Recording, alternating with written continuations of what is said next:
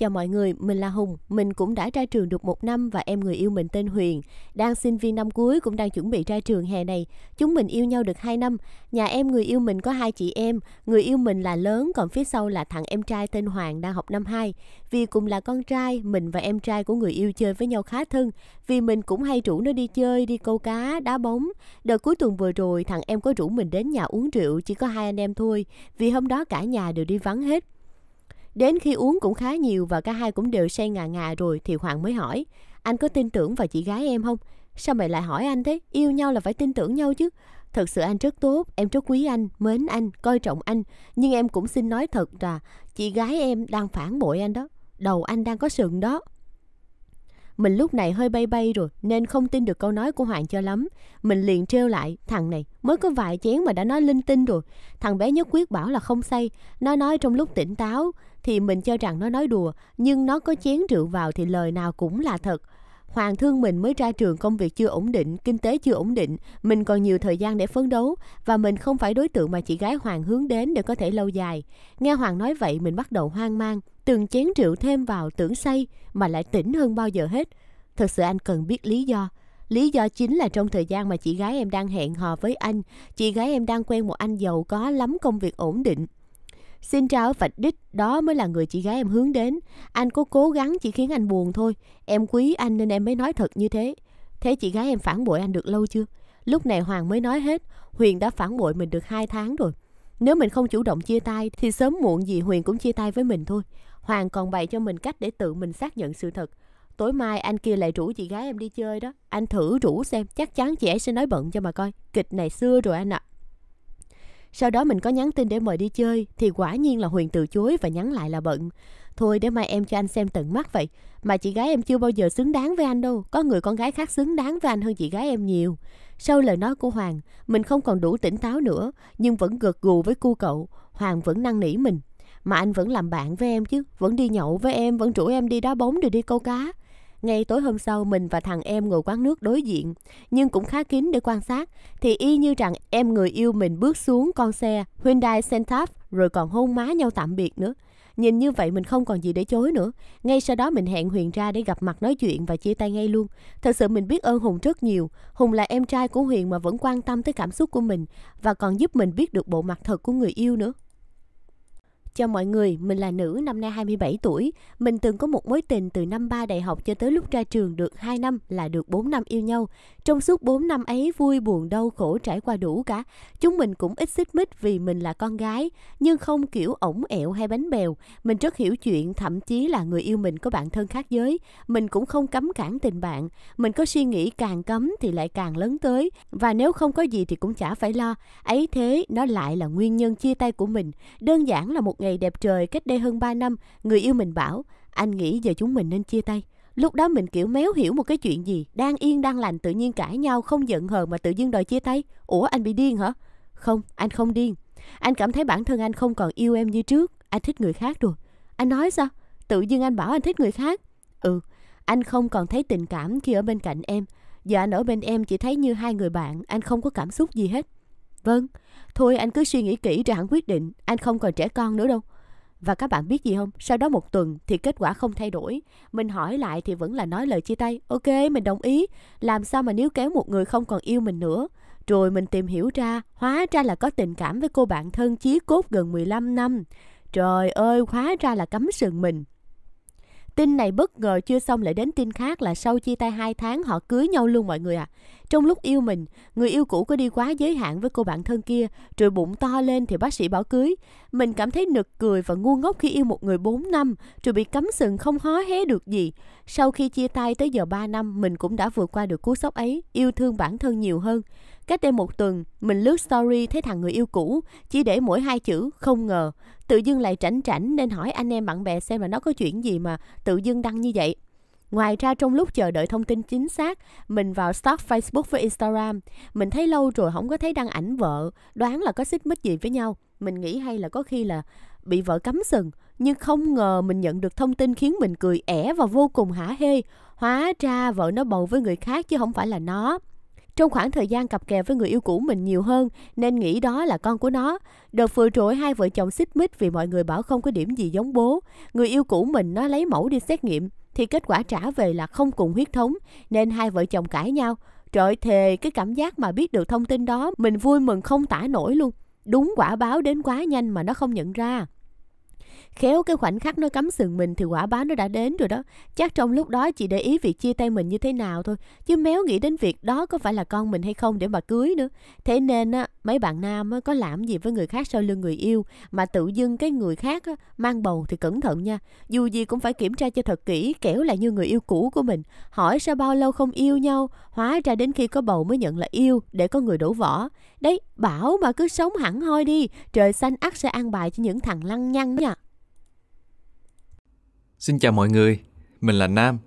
Không biết tâm sự với ai nên viết lên câu chuyện của mình trên đây.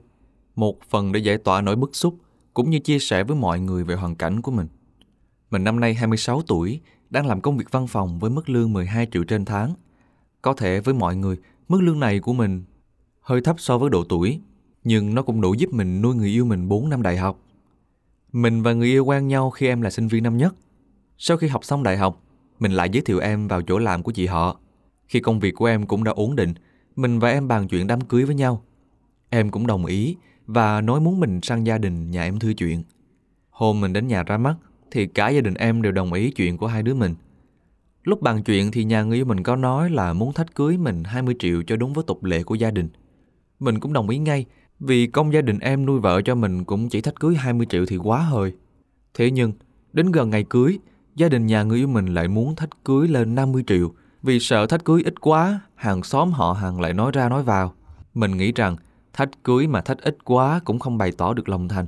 Thế nên cũng cố gắng cày cuốc, vay mượn bạn bè thêm cho đủ 30 triệu nữa để đưa cho gia đình nhà gái là tiền thách cưới. Thế rồi hôm vừa rồi, mình thấy người yêu khóc lóc kể lễ chuyện bố mẹ cãi nhau. Mình mới động viên hỏi người yêu có chuyện gì, thì em ấy kể là bố em muốn mời hàng xóm, còn mẹ em thì lại không. Mình hỏi lý do, thì em bảo là hàng xóm chỗ nhà em. Khi gả con gái đi, thì thách cưới 50 triệu cộng thêm 10 cây vàng. Nhà em thì chỉ thách cưới 10 triệu nên là xấu hổ, không dám mời hàng xóm qua. Mình chưa kịp nói gì, thì người yêu nói thêm. Em nói là muốn mình chuẩn bị tiền thách cưới lên 100 triệu, hoặc thêm cái sổ đỏ để gia đình em có thể mời hàng xóm qua dự tiệc cho đỡ mất mày mất mặt. Thu thực là lúc đó, em chỉ định nói với người yêu em là ảo thấp top hay mấy cái phim ngôn tình ít thôi – Yêu nhau bao nhiêu năm tình hình tài chính của mình như thế nào em biết rõ. Rồi còn biết bao nhiêu là tiền. Mình còn phải lo như tiền cổ cưới, tiền tiệc, tiền thuê phong bạc, thuê váy cưới, tiền mua sắm giường tủ các kiểu. Biết bao nhiêu là loại tiền. Thế mà còn ổng ẹo đòi thách cưới lên 100 triệu, không thì cái sổ đỏ. Nhưng vì muốn em đẹp, nên mình chỉ biết im lặng rồi nói với em sẽ tính cách sau. Ngày cưới của mình sắp đến gần rồi, mà giờ người yêu mình nói vậy, mình cũng không biết phải xử lý như thế nào nữa mọi người ạ. À. Tiền thì mình cũng đã vay họ hàng anh em bạn bè hết rồi. Giờ vay thêm thì cũng ngại. Không lẽ bây giờ lại đi vay lại cắt cổ để lấy vợ. Sau rồi hai vợ chồng về trả nợ. Mình không biết chỗ các bạn có giống như trường hợp của mình hay là không. Nhưng mình mong sau này các bạn có con gái có gả đi thì chỉ nên thách cưới làm sao cho phù hợp với tình hình của con rể thôi. Dù có nhiều người sẽ nói là đem tiền cho con gái đấy, nhưng mà cũng không nên thách cưới vì sĩ diện như thế. Mong mọi người có thể cho mình lời khuyên với ạ. À. Mình xin cảm ơn mọi người rất không biết có bạn nam nào giống như mình không? Chị em phụ nữ có thể quên trang điểm, quên mang này mang kia, nhưng người yêu của chồng, hai người yêu là không bao giờ quên được luôn. Mình mới lấy vợ được 3 năm, cũng mới chia tay vì vợ mình lúc nào cũng nhắc tới người yêu cũ của mình. Các bạn có thể nghĩ đây là chém gió, nói điêu, nhưng đây hoàn toàn là sự thật à. Hồi xưa khi yêu nhau, vợ mình duyên gia các kiểu gài gài cho mình kể chuyện về người yêu cũ. Mình thì không muốn nhắc lại chuyện cũ, vì cái gì đã cũ thì nó cũng là quá khứ rồi không nên đào lại làm gì Thế mà vợ mình lại cứ ép mình kể cho cô ấy nghe. Mình mà không kể là lại dỗi, Nói là mình còn có tình cảm với người cũ nên cất giấu ở trong lòng. Thế rồi mình đành phải kể hết mọi chuyện cho vợ nghe. Nghe xong, vợ mình lại lăn ra dỗi. Bảo mình là còn yêu người cũ thế này mà chia tay. Bảo mình nhớ rõ từng tí một, Bó tay luôn mọi người ạ. À. Sau lần đó thì vợ mình cũng không còn kể hay nhắc gì tới người yêu cũ của mình. Thế nhưng, sau khi kết hôn về được một năm thì bất kể mọi cử chỉ hành động hay mỗi lần cãi nhau là vợ mình lại lôi người yêu cũ ra để cà khịa mình. Ví dụ như hai vợ chồng có cãi nhau về việc ăn uống thì cô ấy lại nói là Thế tại sao hồi xưa anh không yêu lấy con Mai đi? Nó vừa dễ ăn, ăn gì mà chả được. Hay là có lần em than phiền về việc vợ hai giờ cao su thì cô ấy lại khịa rằng Đi mà yêu con Mai, nó đúng giờ giấc, không lề mề, tự dân đi chia tay nó làm gì? Mọi người có thấy vợ mình ngang ngược không ạ? À? Thế rồi, mình nói chuyện với vợ về việc sinh con, cô ấy lại nói là anh đi mà yêu con Mai, rồi nhờ nó đẻ con cho ấy. Em giờ chưa muốn đẻ, em chưa sẵn sàng làm mẹ.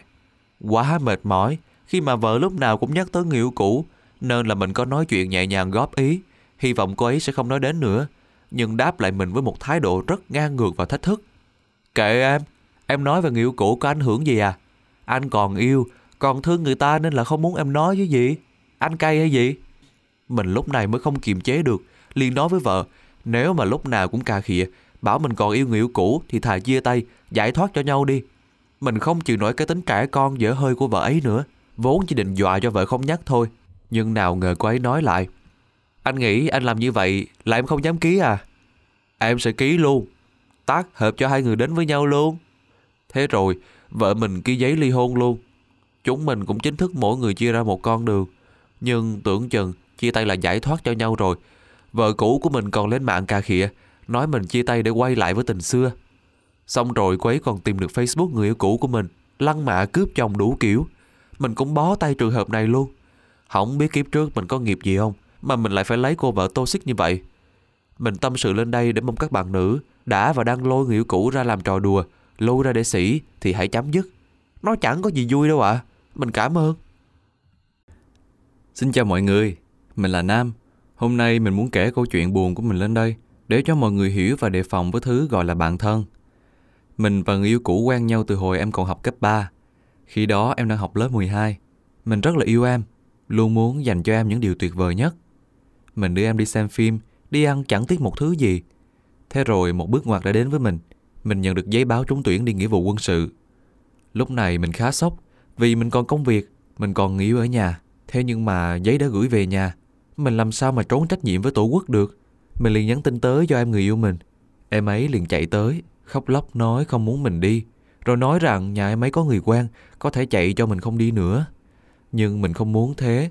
Mình thật lòng cũng muốn đi để thực hiện nghĩa vụ với tổ quốc, cũng như thử thách tình yêu của chúng mình. Ngày mình phải rời xa gia đình, xa bạn bè, xa người yêu để đi nghĩa vụ cũng đã đến.